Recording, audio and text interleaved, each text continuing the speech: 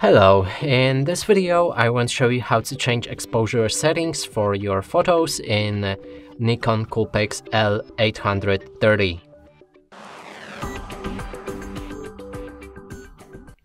And to do this we'll need to click on the uh, photo mode, so let's go for scenes and pick your preferred mode. In this case I'm going for auto mode then click on the exposure button right here and now you can adjust it using up and down buttons. That's a macro and a flash button. And that's it for this video, hope you like it, please consider subscribing to our channel, leave a like and a comment below.